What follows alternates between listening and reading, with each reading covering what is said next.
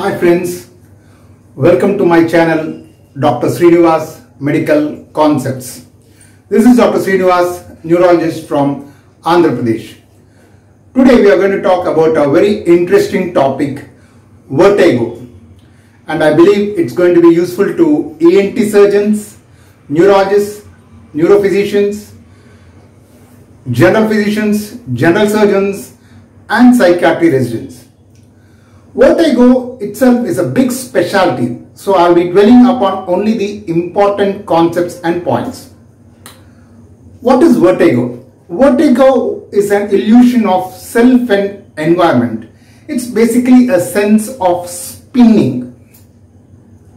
We need to be very clear about the symptoms which the patient tells. They may give non-specific complaints like dizziness, lightheadedness, imbalance, but we should be sure that it is vertigo, a sense of spinning. Having confirmed that it's a case of vertigo, a complaint of vertigo, how do we approach? Very important point. Once a person comes with vertigo, we need to know whether it is central vertigo or a peripheral vertigo. Peripheral vertigo is vestibular apparatus, the vestibular nerve. Central vertigo is the brainstem and cerebellar structures. Again, if you take peripheral vertigo, where the labyrinth or the vestibular nerves are involved, it could be unilateral or it could be bilateral. Unilateral usually produces vertigo because of asymmetric input coming from the labyrinths to the brain. Because of this asymmetric input, brain gets confused and will have a sense of spinning and vertigo. Any unilateral cause like BPPV, benign paroxysmal positional vertigo. If it is bilateral, both the vestibular apparatus are damaged and therefore the input, though it is decreased, it is symmetric and therefore a bilateral damage usually will not produce a severe vertigo. They can have oscillopsia, a difficulty in, in coordination between vision and the head, especially in the darkness. They can have imbalance. So this is about the peripheral vertigo where you have the unilateral involvement and the bilateral involvement. Central vertigo, this is dangerous because the central cause of vertigo is because of brainstem structures and cerebellum. Example, Wallenberg syndrome.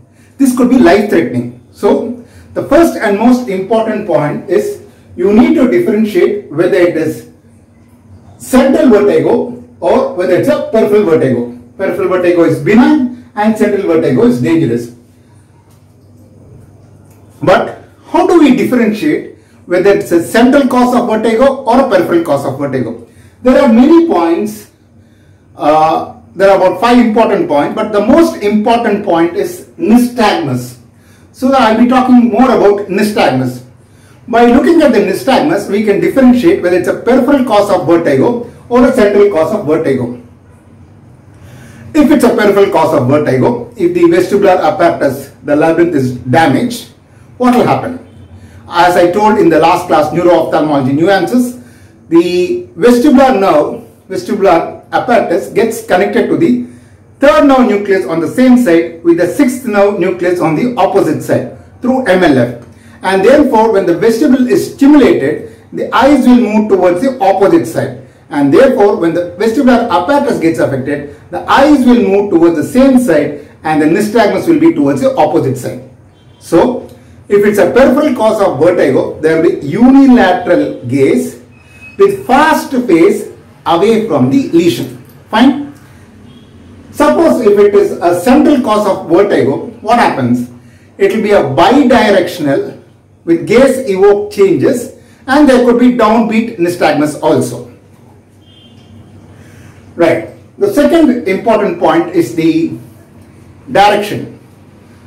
If it's a peripheral cause of vertigo, it will be a mixed vertical torsional nystagmus with the upper end of the eye looking towards the affected side of the ear which is on the lower side. So it will be mixed vertical torsional nystagmus. Whereas if it is a central cause of nystagmus, it would be purely vertical or purely torsional. the peripheral cause of vertigo producing a nystagmus is a mixed vertical torsional. It cannot be purely vertical or torsional because the three semicircular canals will contribute to the direction. Right. And third important point about nystagmus to differentiate between peripheral cause and central cause is that in a peripheral cause, the nystagmus gets inhibited by visual fixation. The visual fixation inhibits the nystagmus and therefore if person uses Frenzel glasses which inhibits visual fixation, the nystagmus is well seen. So in peripheral cause of nystagmus, if you want to see, give Frenzel glasses, it will be well seen. Whereas if it's a central cause of nystagmus, the nystagmus is not suppressed by visual fixation. And the fourth important point is the head impulse test. What is this head impulse test? This is because of VOR. You need to understand a concept vestibulo-ocular reflex. When the head moves to one side, the eyes moves to the opposite side in an in an opposite direction but of equal amplitude. So this is vestibular ocular reflex. But in persons where the vestibule is affected, the VOR gets impaired and therefore when the head moves to one side like this, the eyes also will move along with the head. So they have to make a corrective saccade to focus on an object. Example, if the patient is asked to focus on this camera, turn the head to one side and still focus, generally in a normal person whose vestibule is functioning well, I can turn the head on one side but still my eyes focusing on the camera. But in persons where the peripheral cause of vertigo, where the vestibular apparatus gets affected, when the head turns to one side, the eyes also turns towards the same direction and they have to make a catch-up saccade to look at the camera. So once you see this catch-up saccade in the head impulse test, it is suggestive of peripheral cause of vertigo. Head impulse test is negative in a central cause of nystagmus. So these are all the four important points of nystagmus by which we differentiate whether it's a peripheral cause of vertigo or a central cause of vertigo. First, in a peripheral cause of vertigo, it is unidirectional with fast phase away from the lesion, whereas is a central cause of nystagmus, central cause of vertigo, the nystagmus is bidirectional, it changes direction with gaze and there could be downbeat. The second important point is that the peripheral cause of vertigo producing nystagmus is never purely vertical or never purely torsional. It's a mixed vertical torsional, whereas in a central cause of vertigo, the nystagmus is either purely central or torsional, vertical or torsional. Third, the nystagmus can be inhibited by visual fixation and therefore can be better seen with Frenzel glasses in a peripheral cause of vertigo, whereas the nystagmus does not get suppressed by visual fixation if it is a central cause of vertigo. Fourth, because of the impaired VOR, head impulse test is positive. There is a corrective saccade in a peripheral cause of vertigo, whereas the head impulse test is absent or negative in a central cause of vertigo. These are the four important points regarding nystagmus. But there are still other points by which we can differentiate peripheral cause of vertigo from central cause of vertigo. They are, there are other associated clinical features in a peripheral cause of vertigo.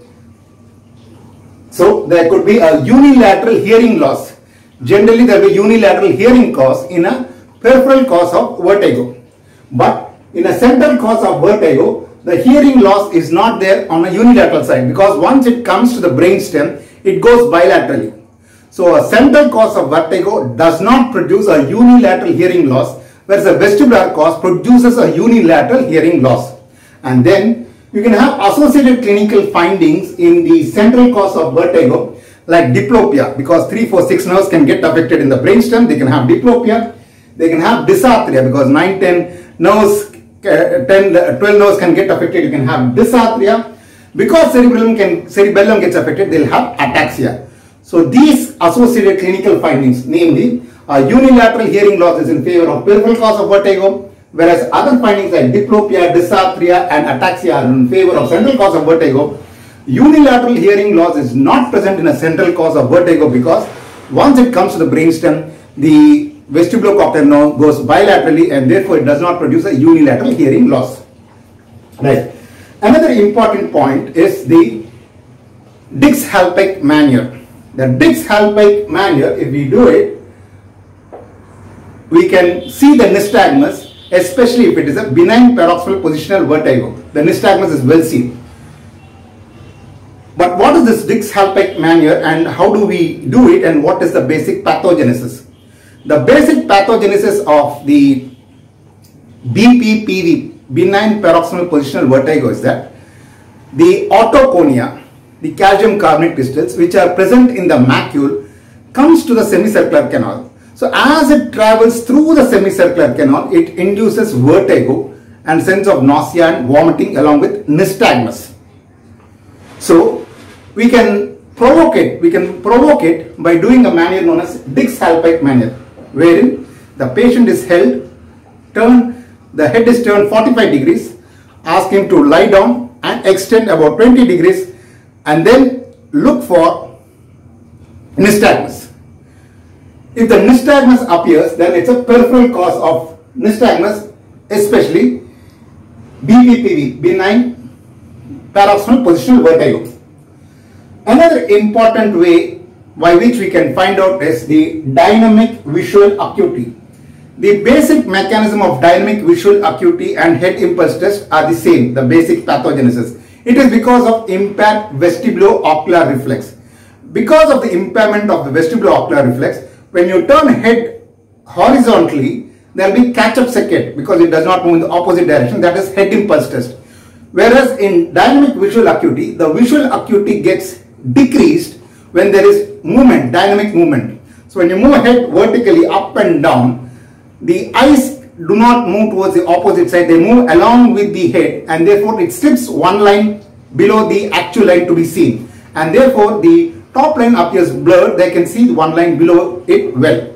So there may diminished visual acuity. So on the post positional changes of the head. So this is known as dynamic visual acuity. So dynamic visual acuity is present in peripheral cause of vertigo whereas it is absent in the central cause of vertigo. Then we can do investigations to find out whether it's a peripheral cause or a central cause. In a peripheral cause we do audiometry. In audiometry there may be unilateral sensorineuronal hearing loss. There could be low frequency hearing loss in Meniere's disease. So when we do audiometry there could be unilateral sensorineuronal hearing loss or low frequency hearing loss as in Meniere's disease. Whereas in central cause of vertigo, we do imaging MRI brain. By doing MRI brain, we can find out whether there is an, any lesion in the cerebellum or medulla oblongata. Example, Wallenberg syndrome. Another sequence which we have to stress in finding out the central cause of vertigo is do MRI brain of internal auditory canal IAC to rule out schwannoma. So by all these methods, especially nystagmus, the four points which I have told, the clinical findings, the Dix-Hallpike maneuver, the dynamic visual acuity and investigations, we can differentiate whether it's a central cause of vertigo, peripheral cause of vertigo. This is the most important aspect when we approach a case of vertigo.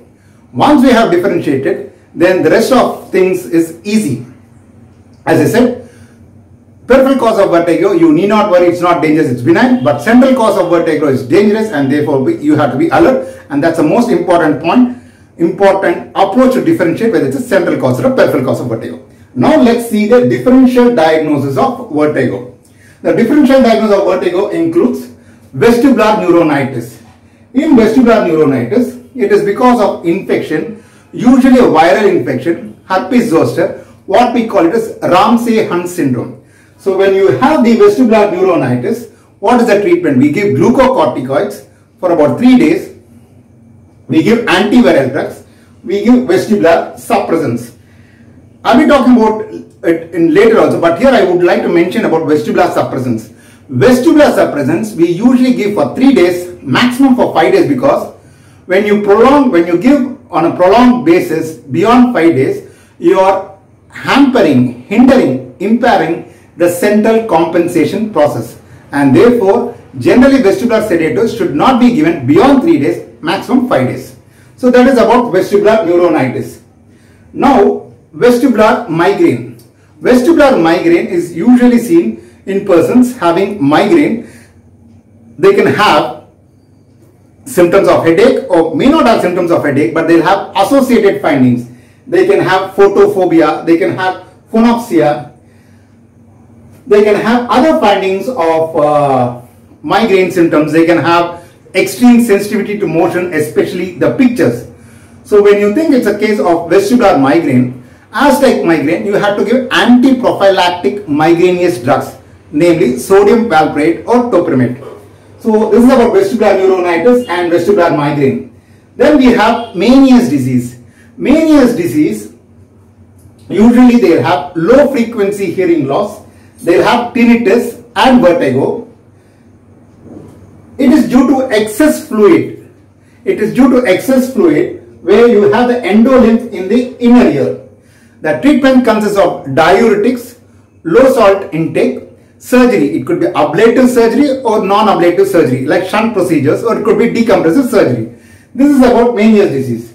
Then we have vestibular schwannoma. Vestibular schwannoma is a tumor. It grows very slowly on a chronic basis and therefore the compensation takes place and therefore vestibular schwannoma persons usually do not produce with vertigo. They have associated findings like they can have hearing loss, head impulse test is positive, and of course by taking MRI brain and focusing on the internal auditory canal, we can diagnose it and treat it by surgery. Fine. But now let me talk about a very important cause of vertigo, the benign paroxysmal positional vertigo, otherwise known as BPPV.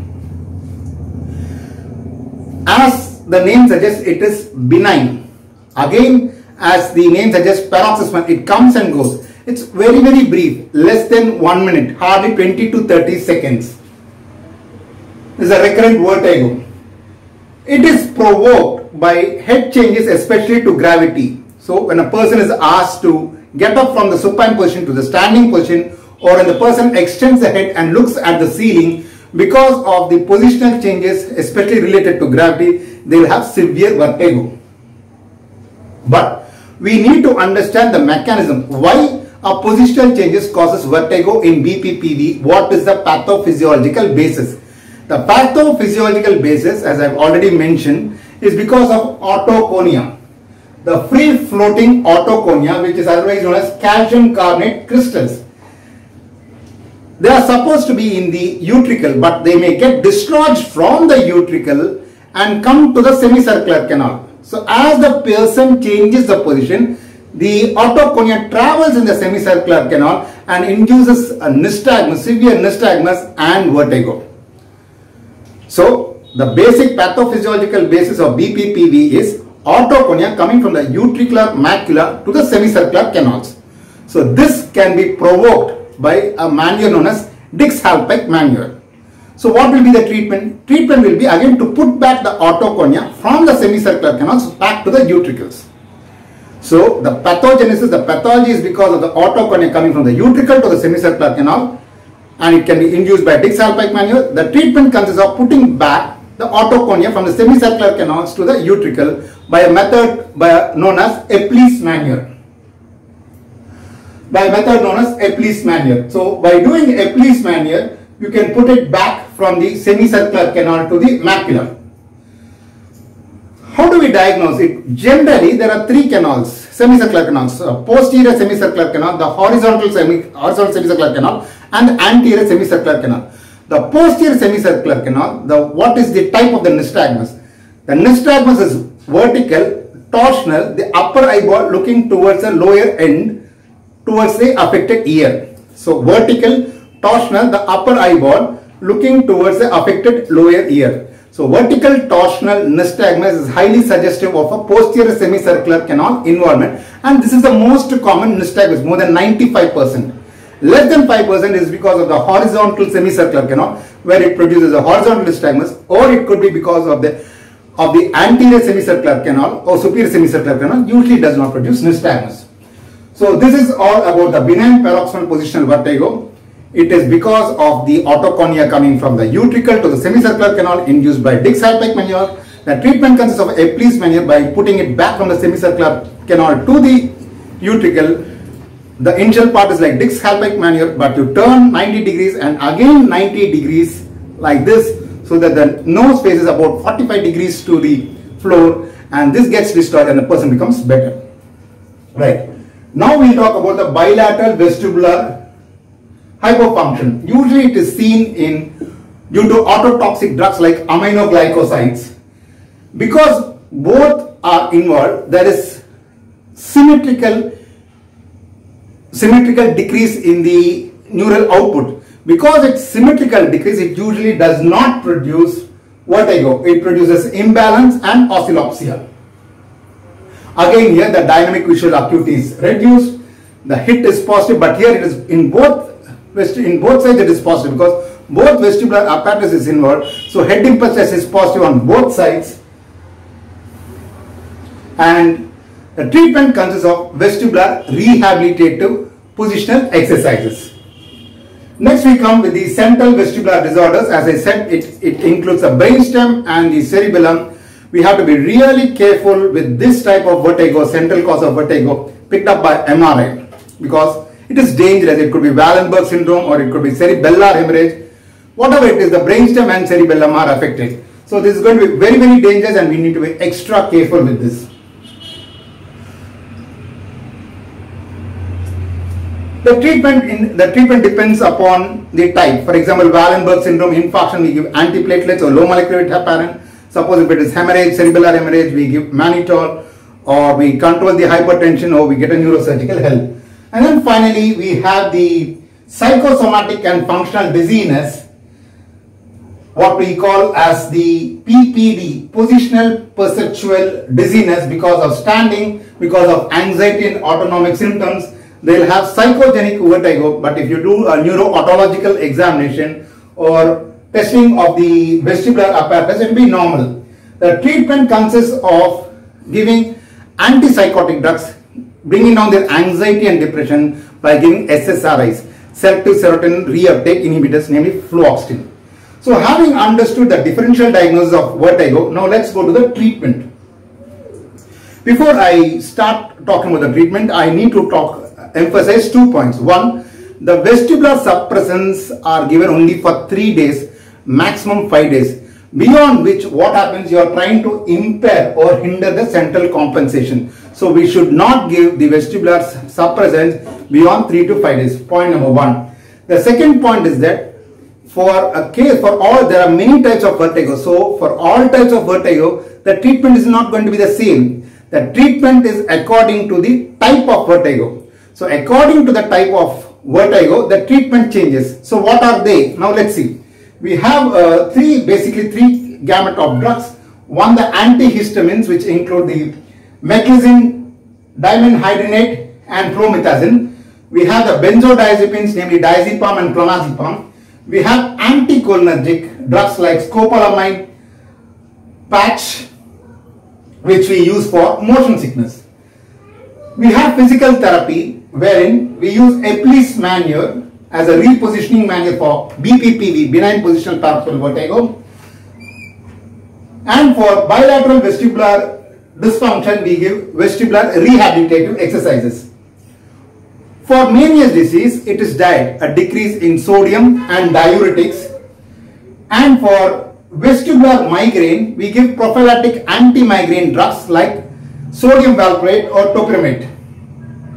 And for vestibular neuronitis, we give methylprednisolone. And for psychogenic vertigo, we give SSRI fluoxetine. So as you have seen, the treatment of vertigo depends upon the cause of the vertigo and the treatment changes according to the cause of vertigo. So before I conclude, I would like to stress few important points. The first point is that when a person comes with vertigo, we see whether it's a central cause or a peripheral cause, Central cause you can pick it up by MRI. Most dangers you have to be very, very quick in, in giving treatment. The peripheral vertigo is less dangerous, benign. We use head impulse test and dynamic visual acuity at the peripheral at the bedside and we can make a diagnosis of peripheral cause of vertigo. Second, vestibular suppressants are given only for 3 to 5 days, not beyond that because it's going to hinder, hamper and impair the central compensatory mechanism. And the treatment of vertigo is not the same for all cause of vertigo. The treatment depends upon the individual cause of vertigo and it varies according to the cause of vertigo. So this is such a big specialty but I try to really give all the essential points and I try to cover as much as possible regarding all points of vertigo. I really enjoyed giving you this lecture on vertigo and I hope you have also enjoyed it. If you have really enjoyed it, please like and subscribe my YouTube channel Dr. Sreenivas Medical Concepts and I'll meet you with the next interesting topic. Bye. Take care.